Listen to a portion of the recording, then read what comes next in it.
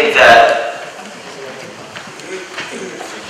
Joseph's course is actually really interesting, especially when we're trying to understand Jesus and even Father's own course. So before I give my, my sermon, I, would like to read some of Father's words from the Cheon Seong Gyeong.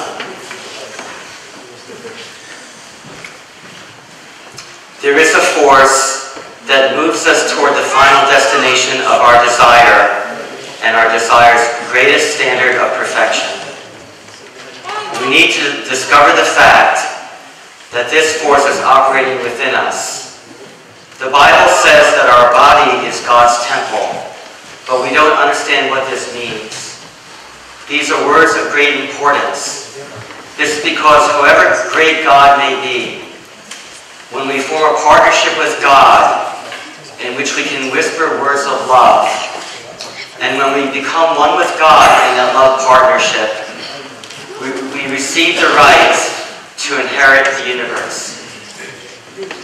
So, uh, you know, Father, uh, actually, this morning we sang the Blessing of Glory. I, I don't think we sing it this time. But uh, in the, the, the, earlier morning service, they sang the Blessing of Glory. Do you all know that? Da, da, da,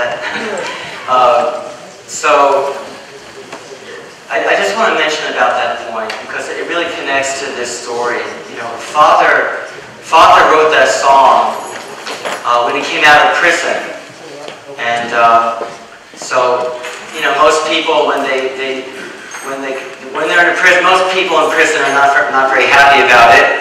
And uh, Father, when he came out of the prison, he he wrote that song, and he expressed gratitude to God for the grace that that he received in prison.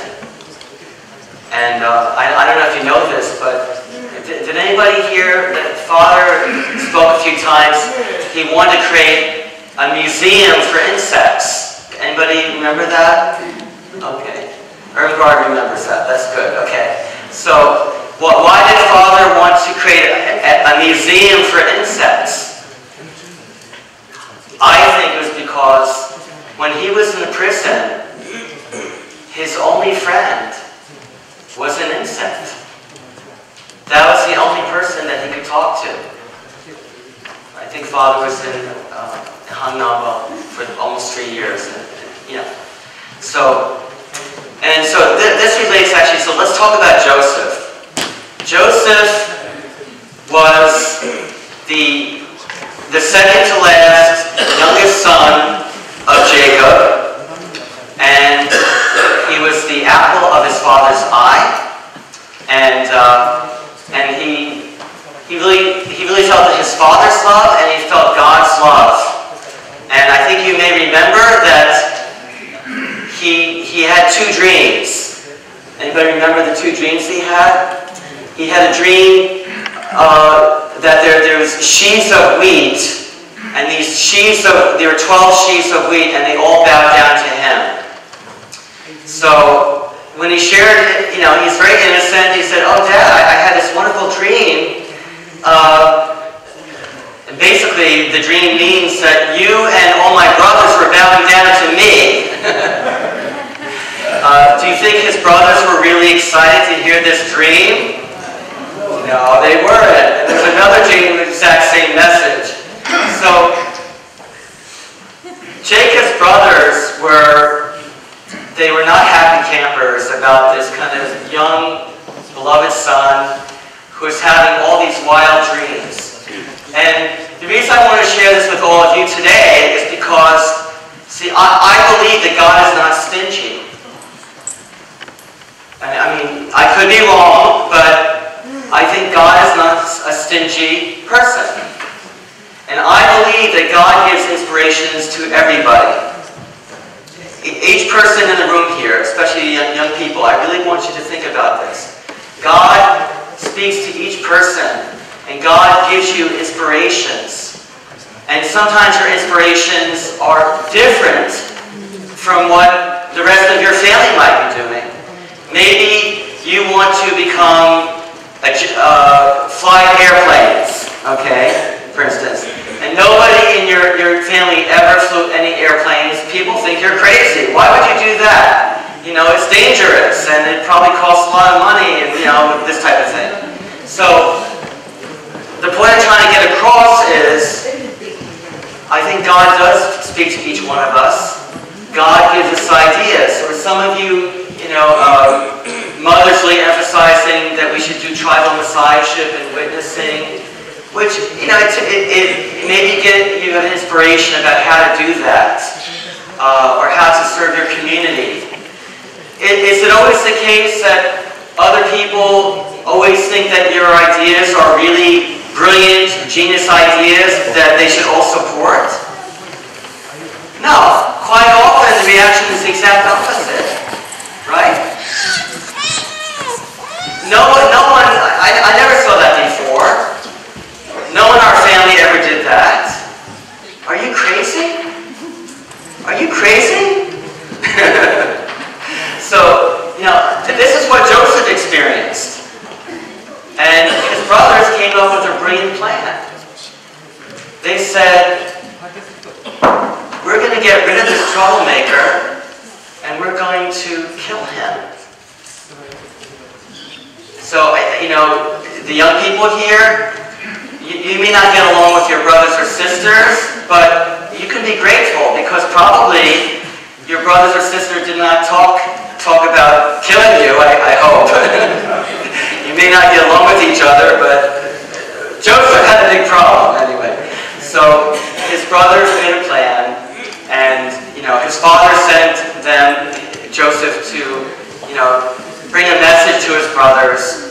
And so Joseph is very innocent. He kind of goes to bring this message to his brothers who are, you know, watching their huge sheep holdings and, you know, watching those things. And they, they grabbed him. They tore off this beautiful coat that his father had given him, this multicolored coat that you may have heard about. And they threw him in, a, it says a cistern. A cistern is a huge hole in the ground that I guess they used that to store wheat or something like that. So they threw him into the cistern and they were figuring out how to kill him.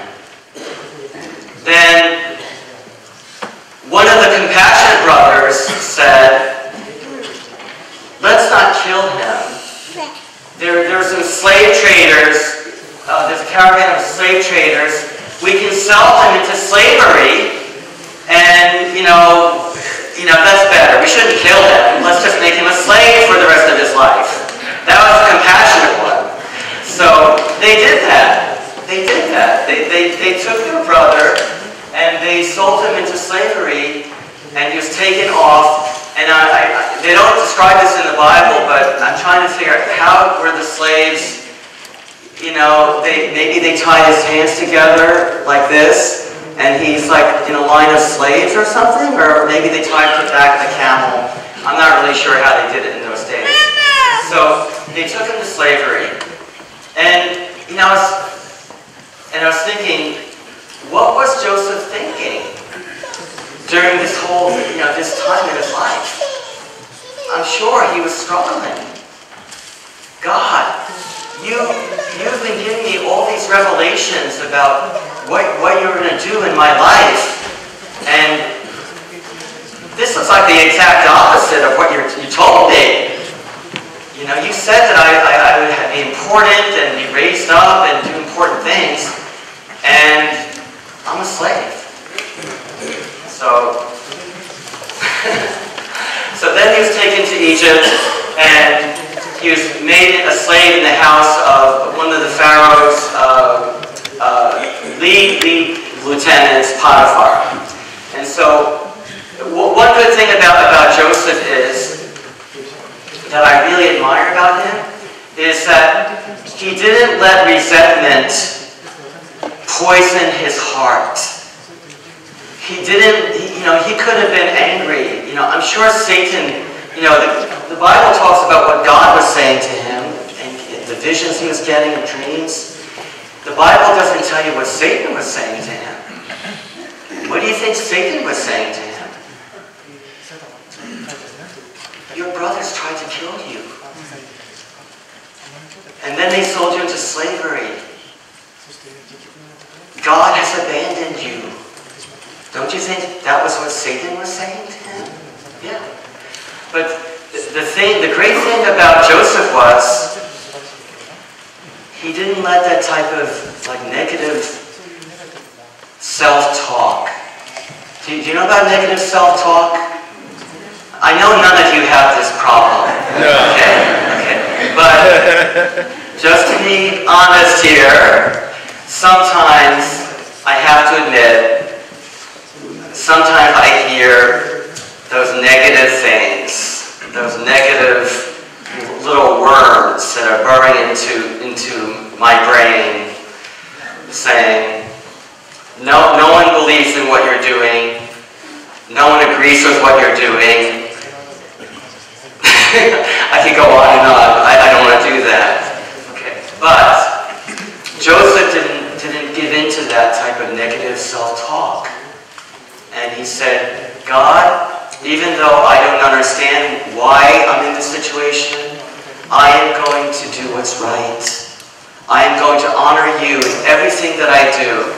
And if, if my master tells me to sweep this floor, I'm going to do this. I'm, this is going to be the best floor in the, in the whole of Egypt. Okay? That's what Joseph did. And you know what happened? Potiphar said, you know, this, you know, the other, the other slaves don't care what they do. They do a half-hearted job. They just sort of don't care. But this Joseph guy, he, he really puts his whole heart into everything that he does. And he doesn't lie. He tells the truth. I need someone like that who, who, who, who will be honest and tell the truth. So he promoted Joseph to be the head of his entire household. Okay? So that was encouraging. But then there was another problem.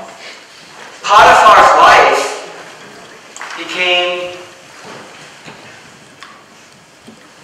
sexually attracted to Joseph. And Potiphar was out, I guess, he's a very important person, traveling a lot. And Potiphar's wife wanted to basically get him in bed. And Potiphar's wife tried to seduce him many, many times. And, Joseph said, I can't do that. I can't betray my master. I can't be, you know, it, it, this is not the right thing, and I can't betray God. And so it's against my beliefs. I can't do this. So then finally, this Potiphar's wife, she she she just couldn't get this this kind of obsession out of her mind. And she one time there's nobody else around, and she grabbed his clothing, and then he ran away, and his she ripped off his clothing. He ran out of the house naked. Okay? he had no clothes on. And then she started shouting. He tried to attack me. And, and then when uh, Potiphar came back, this slave that you got, he tried to attack me. And then Potiphar was angry and he had him thrown into prison. So that now he's in prison because he, he's accused of attacking his boss's wife. And things are not looking good here. so, uh, you know, it's interesting. If, if you read the scripture, and it says that God was with him in prison. You know, and I, mentioned before about when Father was in prison. You know, God gave all these revelations to, to true Father that He would save the human race, that He would create the kingdom of heaven on earth. And Father was thrown into prison for many, many, many years. And the interesting thing is that Father said that that's the time when he felt closest to God. You know, with this reading that we had this morning, it says, however great God may be, when we form a partnership with God in which we can whisper words of love, and when we become one with God in that love partnership, we receive the right to inherit the universe. This is what Father's talking about, this, this course. And so I, I have to give you some really bad advice which is this. When, when things look the worst, when it looks like everyone hates you and everyone thinks you're wrong, and but you're doing it out of the right motivation to, to help God, then that is, the, that is the time when you can experience God's love the most. So you should actually thank people when, if people are persecuting you, Bob Beebe, and opposing what you're trying to do, then that is a time for you to, to really become close to God. Does, does that make sense to you? Good. So, anyway, in, in, the uh, in prison, Joseph was um, you know, he was there, and actually, even in the prison, the, the, the prison guards quickly realized this Joseph, he is not whining, complaining, he's, and he's not praying to God, God, get me out of here, I'm a victim. No, that's not what Joseph is doing at all. And he has an unselfish mind, and he's trying to help the other prisoners. Uh, if you remember, the baker was thrown into prison with him, and the the uh, Pharaoh's cup holder, they were also put in prison with him, and he, they had two dreams, and he interpreted the, their dreams, uh, and so he had an unselfish mind.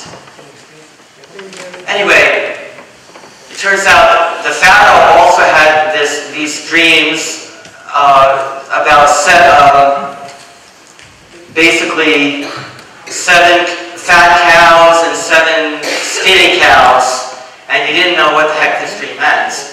And then the baker who, who Joseph had interpreted the dream for and had been released and had forgotten to tell the Pharaoh about this Jewish kid who helped him out in, in prison, he said, oh, I forgot. Uh, there's this Jewish Jewish guy in the prison that we've been there for a few years. We, we, he's been rotting in prison. We forgot about him. But he, he can interpret dreams. So they brought him out, and he, he interpreted the dream of the Pharaoh's dream, which was that Egypt would have seven years of plenty and many, many uh, crops and of abundance, but there'd be seven years of famine and drought where if they did not do anything, the entire nation of Egypt would, would basically starve to death. And not just Egypt, but the whole Middle East.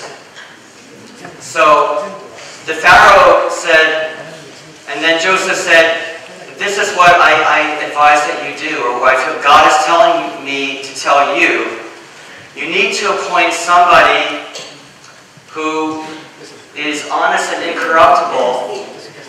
And you need, that person needs to be in charge of the whole country and gather one-fifth of all the, the crops for seven years and put, the, put those away storage, maybe in cisterns. He knew something about cisterns, didn't he? So you need to put these away in the cisterns and gather this because we need, to, we need to prepare for these seven years of drought. And then the Pharaoh looked around and said, who can I trust to do this? So who do you think he, who do you think the Pharaoh chose to be in charge of, of all of this? Got it. All right. You got, you got the, the A here. So, yeah, so he chose Joseph to be in charge of the whole country. Now, this to me is such an amazing story because this is somebody who his brothers tried to kill him. they sold him into slavery. They threw him in a prison. And then God raises him up to basically be the second person in the entire empire next to, to, the, to the king. And this, know, this to me is an amazing story. You know, we're celebrating the birth of Jesus, right? You know, in the song that the song that was sung, they're talking about you know, this very beautiful manger, and you know, it sounds like very bucolic and beautiful. It, it was it was a cold, dark, dirty place where animals were defecating, and that's where Jesus was born.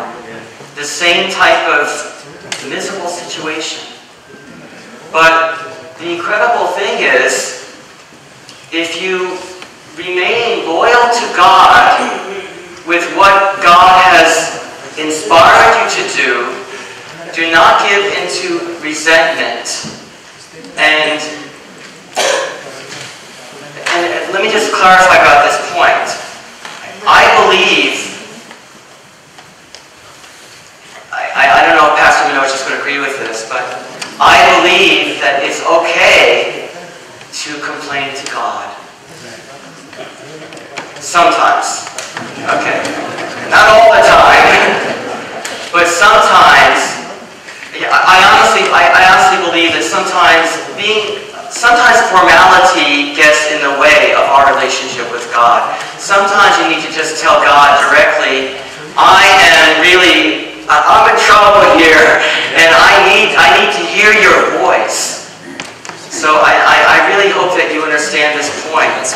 So it's okay to, you know, because again, what Satan, Satan's accusation is that God lied to you.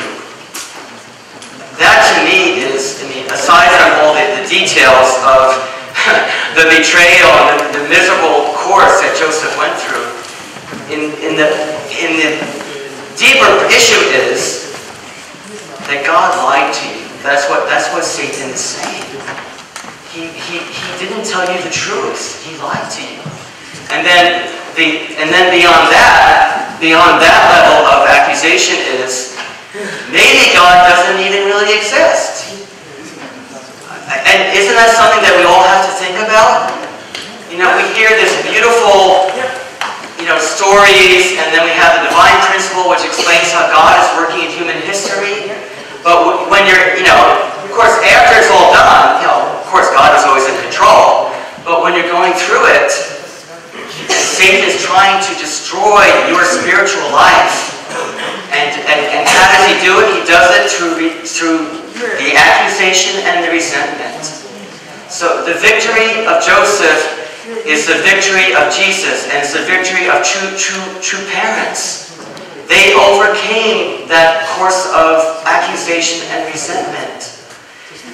I don't believe any one of us can avoid this, the same course, if we want to you know, be used by God and be close to God.